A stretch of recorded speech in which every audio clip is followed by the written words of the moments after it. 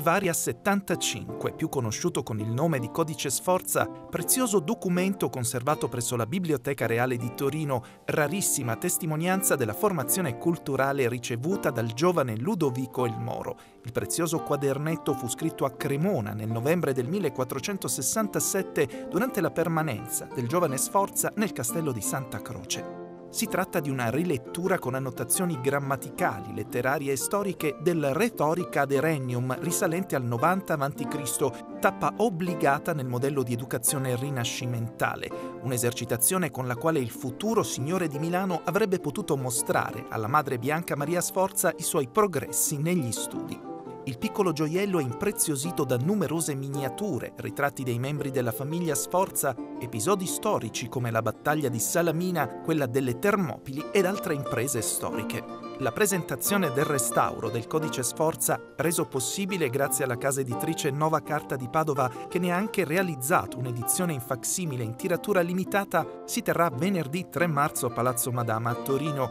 mentre l'originale sarà ancora per qualche giorno visibile al pubblico fino al 6 marzo in occasione della mostra Emanuele D'Azeglio Il collezionismo come passione, in corso sempre a Palazzo Madama.